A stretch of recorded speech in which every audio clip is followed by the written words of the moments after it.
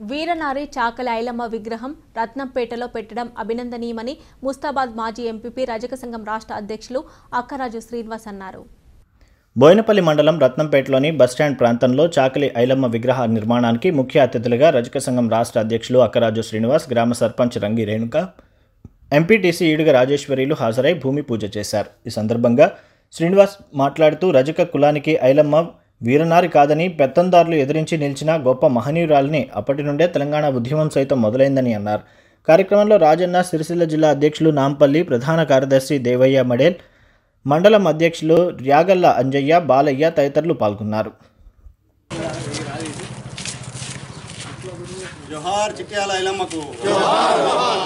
సాగలి ఐలమ్మ విగ్రహము నిలబెట్టడానికి ఈరోజు రత్నంపేట గ్రామంలో భూమి పూజ జరగడం జరుగుతుంది.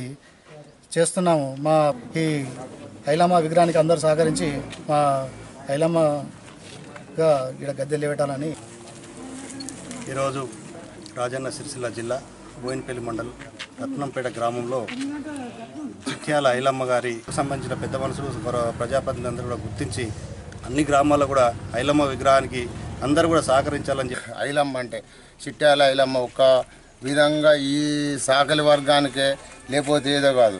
అందరికీ. అదే ప్రకారంగా మా కుల బాంధవులకు కానీ